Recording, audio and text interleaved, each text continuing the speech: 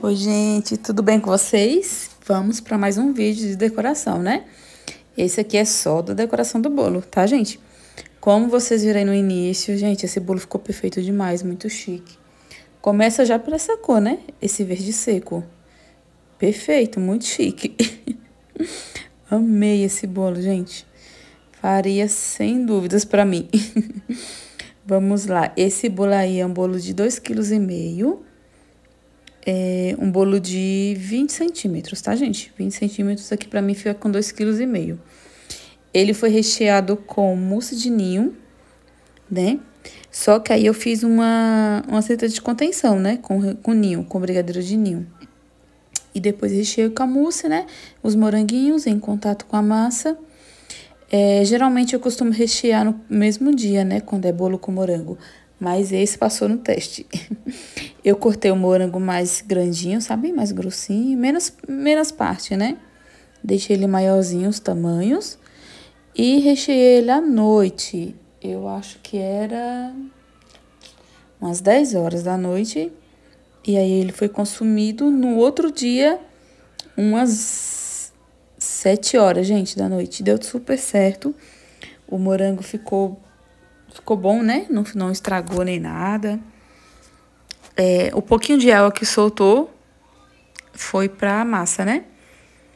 Porque eu tinha colocado o morango em contato com a massa. Então, isso já é um, um ponto, né? Ok. Tá, tudo certo, gente, até aí. e aí, né? Apliquei o meu chantininho, tingi ele com esse verde seco da iceberg.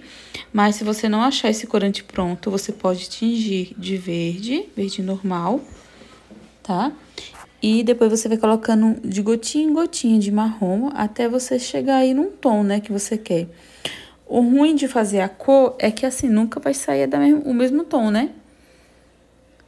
E, e, esse corante já pronto, você já consegue, tá? Mas, gente, é perfeito, muito chique essa cor.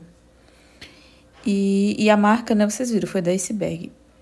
E aí, gente, deixei esse bolo lisinho, aquele esquema, né? Alisar, alisar, ah, tira excesso de cima, volta pra lateral. E aí, gente, não vai ficar totalmente dessa cor, né? Eu vou dar umas mescladas aí com verde. Esse é o verde tradicional mesmo, tá? Verde folha. Eu peguei o restinho do chantininho que tinha do verde, desse verde aí, e coloquei o verde folha, né? E aí já ficou esse tom diferente, bonito. E aí, ó, fui colocando uns pontinhos, né? Bem intercalado mesmo, só na lateral. E aí, eu começo a espatular novamente, tá? Esse bolo não, não tem textura, é um bolinho liso mesmo, ó. E eu venho espatulando, vou espatulando, né? Teve uma parte aí que danou-se a aparecer bolha. E olha que eu fiz pré-camada, viu, dessa vez. E mesmo assim, ó, começou a sair umas bolhas, eu também já fui lá e estourei, né? Nem, nem pensei duas vezes. Nem pode pensar, gente. Se você vê que já tá criando, tá querendo criar bolha, já estoura e preenche. Ó, já estoura, preenche. E aí não tem problema. Como eu já queria uma, um negócio meio que mesclado mesmo, né? E, ó, tome mais bolha. Eu, misericórdia. Tá vendo que não tem nada a ver esse negócio de estar tá fazendo pré-camada? Quando tem de fazer bolha, faz, gente. É triste.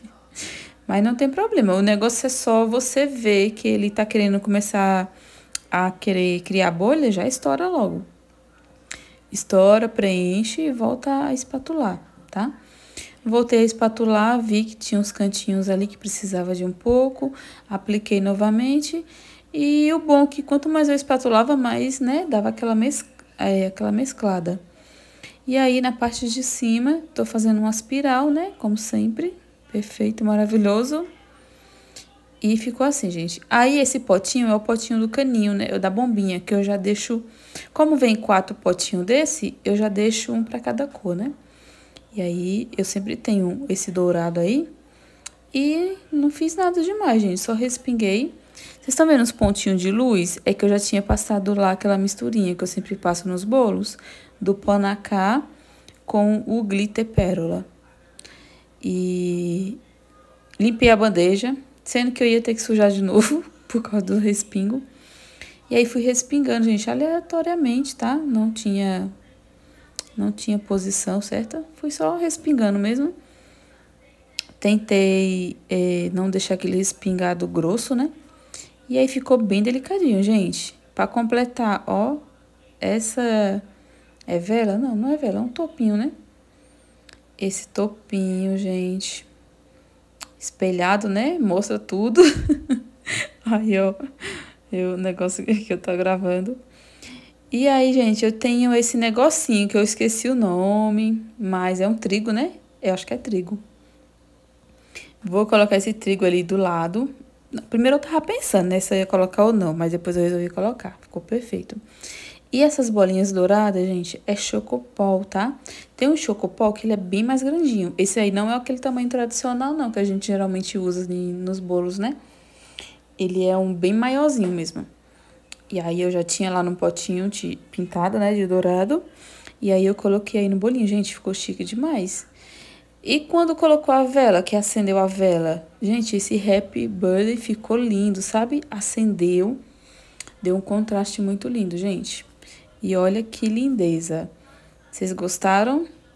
Se vocês gostou, deixa aí nos comentários, tá? Ah, e a melhor parte, olha ele por dentro, gente. Um beijo, viu?